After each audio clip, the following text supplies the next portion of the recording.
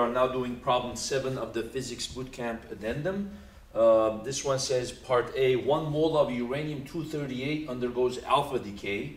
Write down the equation of the decay and how much energy is released. And then part B, one mole of thorium-231 undergoes beta decay.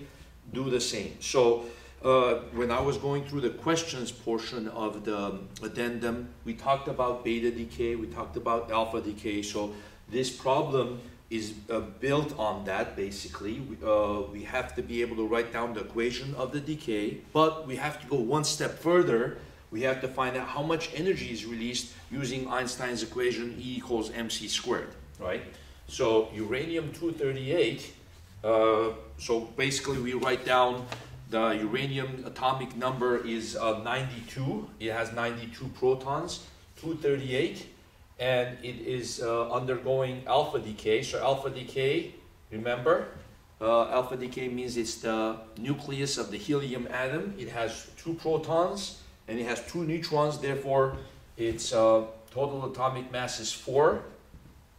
Okay, what should we write here? Well, whatever is there has to have atomic number 90 and then atomic mass has to be 234.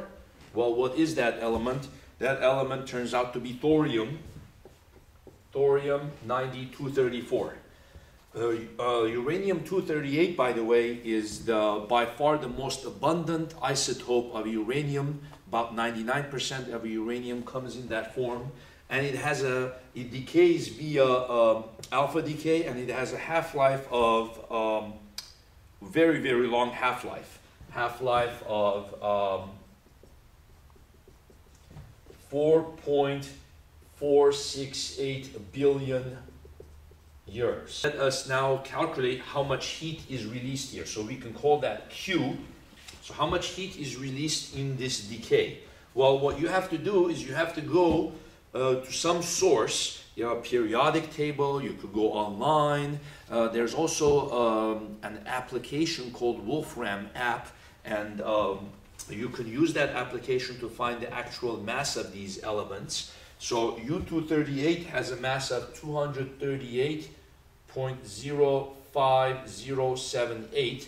So one mole of it will have 238.05078 uh, grams, right? So this is in units of grams. Helium-24 has a mass of 4.0026 grams. And thorium-234 happens to have a mass of 234.0436 grams. Okay? So then what you do is you add these two to see what the total mass of the right side is. You get 238.00 becomes 0, 0, 4 becomes 4, and then 2 and 3 become 5, 6, 6, 12, and then they make that a 6. Okay? So 238.0462 grams. Notice that that is a little bit less mass than this, right? So that means there's a little bit of mass lost due to this reaction, and that mass lost uh, shows up as heat. Okay, so what we have to do now is we have to subtract this so we can find out how much is uh, how much mass is lost.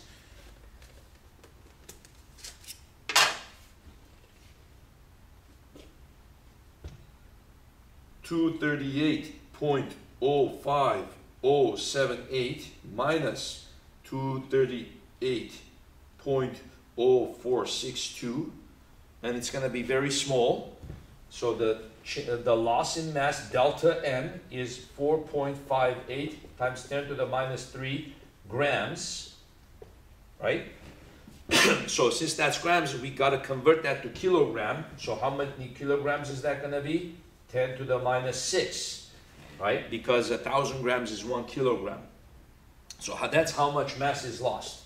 How do we find out what is that equivalent to in terms of energy? Well, we have energy equals mc squared. This is the most famous equation in all of physics, E equals mc squared. Mass and energy are equivalent. So the mass that is lost appears as energy, okay, in the form of heat, right? So we have to use the delta m here multiplied by the speed of light squared, okay? So what is that equal to?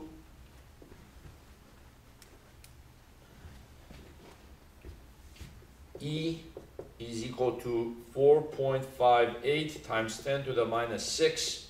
The speed of light is 3 times 10 to the 8. Square that. Now when you square that, what do you get? You get 9 times 10 to the 16th, right? 3 squared is 9, 10 to the 8 squared is 10 to the 16th. Well, now all we have to do is 9 times 4.58, okay? So 4.58 times 9. So that gives you uh, 41.22 times 10 to the 16 and 10 to the minus 6 is what? 10 to the 10th. This is joules. Okay? And if you want to, we, I guess we could express this as um, 412.2 and then this is uh, gigajoules, right? 10 to the, uh, if we move the decimal over, uh, this will become 10 to the ninth, and we can say 412.2 gigajoules. One mole of uranium were to undergo this decay, you would release 412.2 gigajoules of energy, okay? We could also ask the question this way.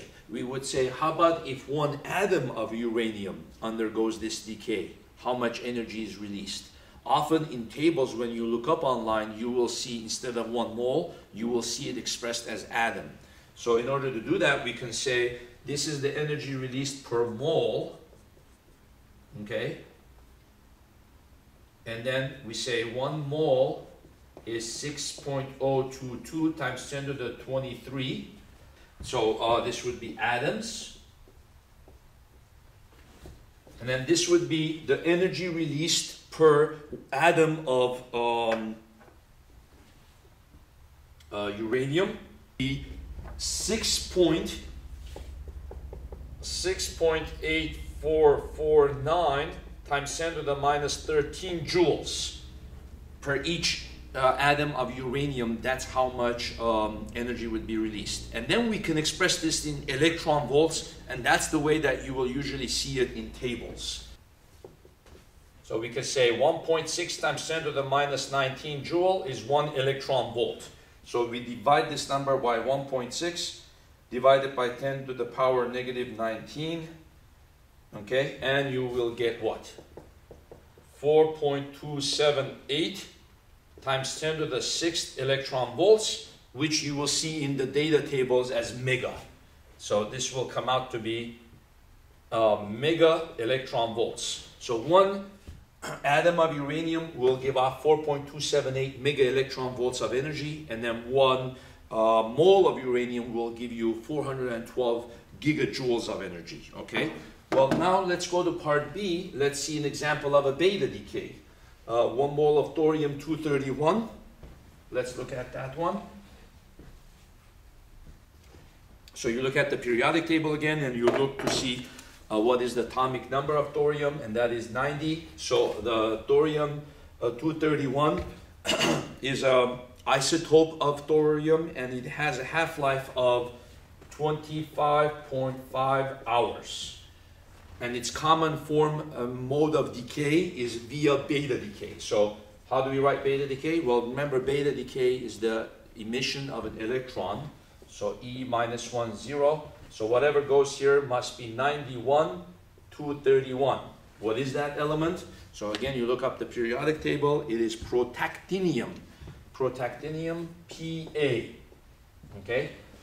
The protactinium 231 also happens to be a common isotope um, of protactinium. Okay, and it has atomic mass of what? 231.035 88399 grams.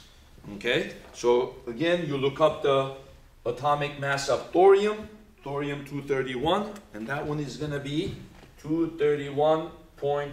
231.036 304343.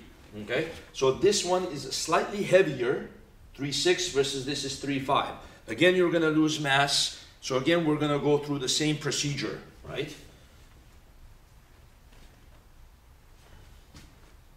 So delta M, you're going to subtract these. 231 m is 4.7644443 times 10 to the minus 4 grams. So change it again to kilogram, and that's going to be 10 to the minus 7, right? And then multiply it by the speed of light squared. So the energy released is equal to delta mc squared. So 4.764443 times 10 to the minus 7. And then remember the speed of light squared is 9 times 10 to the 16th. So, you, so it comes out to be 4.28. I'm going to round it here, 288 times 10 to the 10th joules. Okay, so if we wanted to do in terms of gigajoules, it's a little less energy. So this would be 0.4288 gigajoules. Okay, since the two masses were more similar, the loss of mass was less and the release of energy was less. Okay, so again, if we convert that to uh, per atom, what we're going to do, we're going to divide it by uh, Avogadro's number. The energy released would be 4.45 times 10 to the fifth electron volts. So either we could do this in terms of kilo electron volts or mega electron volts. We could say 0.445 mega electron volt, or we could say 445 kilo electron volts. Okay, so I didn't write all of the steps down, but the steps are very similar. You subtract the masses, multiply by the speed of light squared, divided by a thousand. Then, if you want to convert to per atom, you divide by the Avogadro's number, and then you also divide by the um, uh, conversion between a joule and an electron volt. So at the end, you get 445 kilo electron volts. So now you can see how to do these kind of uh, decay calculations, whether it be beta decay, alpha decay, or any other kind of decay. We could also do similar calculations to hydrogen fusion, fusion of elements together to form heavier elements. Those also release uh, energy. These, the ones that uh, we're doing here are called fission. It's the breaking of heavier elements into lighter elements and losing mass and creating energy. And then there's fusion, which is the building up of atoms to create heavier atoms. And then that happens in uh, the sun, such as in the proton-proton chain.